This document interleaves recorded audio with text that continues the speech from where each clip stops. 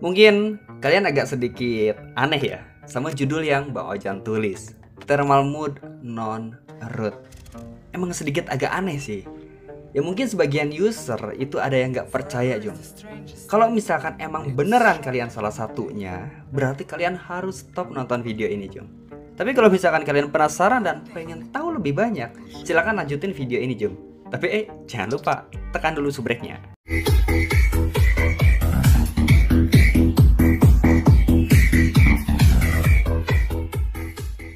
Video kemarin-kemarin itu Bang Ojan sering banget bikin konten tentang mode game. Tapi secara percuma gitu Jum. Kalau misalkan thermal throttling di HP Android kalian masih tetap aktif. Nah sebenarnya tujuan utama Bang Ojan pengen review modul Magis yang bernama Thermal Mode versi 2.0 yang dibuat oleh Mang Rip Rock. Emang beneran thermal mode bang? Oke, Bang Ojan jelasin dulu ya, jadi biar kalian gak salah paham Jum. Yang Bang Ojan bahas sekarang bukanlah thermal engine atau thermal config, melainkan mitigasi thermal. Atau lebih jelasnya ya, thermal sensor atau biasa orang bilang thermal service. Ya, kalian pasti tahu lah. Emang sih biasanya user lain yang bikin video kayak gini dan menjelaskan file ini, dia nyangkanya thermal mode. Kenyataannya ini thermal service. Emang beda bang? Ya jelas beda Jum. Thermal mode di HP Android root itu file thermal engine-nya diedit dan dimatiin limit suhunya. Ada juga yang dinaikkan kecepatan CPU-nya. Nah, tergantung tipe thermal mode-nya.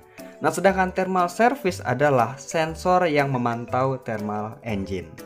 Nah, lebih tepatnya kayak gini, Jom. Thermal itu ada jalurnya. Barisan pertama itu thermal engine versi 2.0.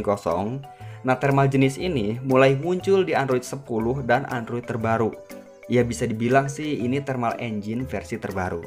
Terus barisan yang kedua adalah thermal versi 1.0. Nah, thermal jenis ini muncul di Android 5 Lollipop sampai Android terbaru. Jadi kalau misalkan kalian pakai Android 10 atau di atasnya, thermalnya itu ada dua jenis Jum. Nah, kedua jenis thermal ini punya profil yang namanya thermal service. Nah, kalau misalkan kedua thermal engine ini pindah mode, maka mode yang ada di thermal service itu bakalan pindah juga atau bakalan berubah. Yang bakalan Bang Ojan bahas adalah thermal service-nya Jom. Kalau misalkan thermal 2.0 dan thermal 1.0 itu buat HP Android yang udah di root. Nah, thermal service ini punya 7 mode Jom. Mode yang pertama adalah none atau kosong, terus mode yang kedua adalah light, mode yang ketiga adalah moderate, mode yang keempat adalah saver, Mode yang kelima adalah critical, mode yang keenam adalah emergency, dan mode yang ketujuh adalah shutdown. Nah dari ketujuh mode ini punya pengurangan kinerja yang berbeda-beda Jung. Ya kalian bisa lihat di bagian kanan modenya Jung. Jadi intinya semakin tinggi angkanya maka semakin tinggi juga pengurangan kinerjanya. Nah tugas kalian adalah merubah mode di thermal service menggunakan CMD atau LADB. Karena ya sampai sekarang itu HP Android non-root hanya bisa merubah thermal service tanpa merubah thermal engine-nya. Jadi ini bukan thermal mode. Nah meski kalian hanya merubah sensor dari profil thermal service, itu tetap aja Jum. HP Android kalian bakalan terasa sedikit lebih panas. Tapi yang nggak sepanas menggunakan thermal mode apalagi disable thermal. Wah itu benar-benar panas banget. Nah kode untuk merubah sensor thermal adalah CMD spasi sensor service spasi override strip status spasi angka. Nah, contohnya kayak gini, Jum. Gimana? Udah paham kan? Oke, langsung aja kita eksekusi, Jum. Oh iya, biar Bang Ojo semakin semangat lagi, jangan lupa, Jum, tekan tombol subrek sekali aja. Oke, di sini HP Bang Ojan itu dalam kondisi non root atau belum di root. Dan Bang Ojan menggunakan aplikasi Briven. Kenapa? Soalnya lebih mudah dan lebih simple. Nah, kalian bisa menggunakan aplikasi LADB atau aplikasi Bajigur. Dan Bang Ojan unlocknya menggunakan PC. Kalau misalkan kalian nggak punya PC ataupun notebook, kalian bisa menggunakan dua HP dan OTG. Oke, di sini aplikasi Brivennya sudah terbuka dan sudah bisa digunakan. Sekarang kita tekan aja oke. Dan di bagian kolomnya kita ketik aja CMD spasi thermal service spasi override strip status Nah, selanjutnya di sini kalian kasih satu spasi, kemudian isi pakai angka dari 0 sampai ke 6. Nah, di sini Bang Ojan isi pakai angka 0. Kemudian kita tes menggunakan aplikasi thermal throttling. Mungkin di awal-awal pasti bakalan hijau. Tapi yang namanya thermal throttling itu bakalan kerasa atau bakalan ada efeknya kalau misalkan udah berjalan satu menit atau lebih. Nah, di sini untuk berjalan satu menit yaitu warna kuning agak kehijauan. Ini di angka 0 dan sekarang kita coba rubah menjadi angka 6 kemudian kita tekan aja enter oke sudah berubah sekarang kita tes lagi menggunakan aplikasi thermal throttling nah di sini uh, warnanya hijau cuman agak kekuningan. Dan sudah berjalan satu menit itu warnanya bener-bener kuning banget.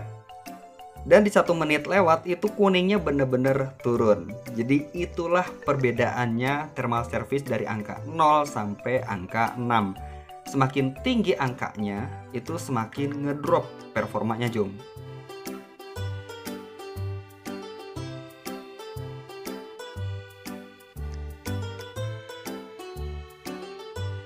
Nah, cara yang Mbak Ojan praktekin barusan itu adalah cara manualnya dan jika kalian pengen yang simple atau menggunakan file execute, di sini Bang Ojan punya satu file yang bernama termod 2.0 shell. Ini dibuat sama Bang Rip Rock.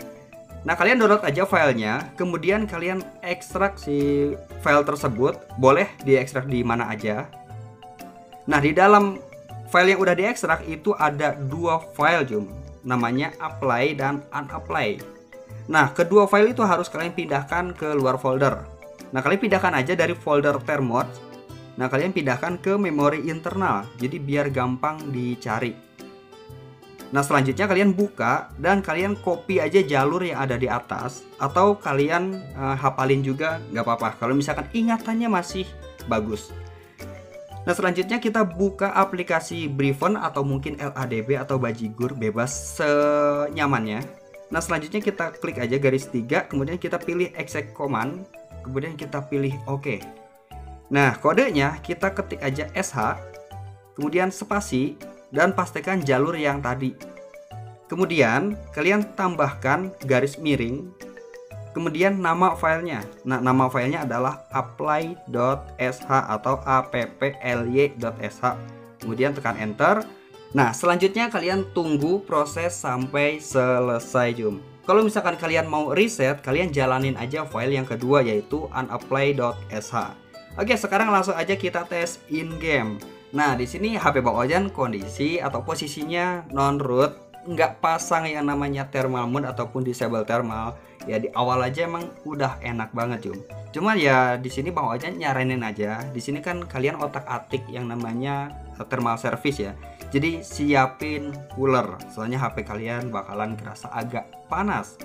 Perlu kalian catat dulu, kalau misalkan kalian menggunakan file execute yang Bang Ojan share, nah ini modenya cuma ada satu, yaitu mode 0 aja atau none. Dan yang satu lagi itu buat ngereset atau kembaliin ke default. Jadi nggak ada mode 2, nggak ada mode 3 sampai mode 6. Kalau misalkan mau pakai mode, kalian harus menggunakan cara manual. Oke, gitu aja. Thank you.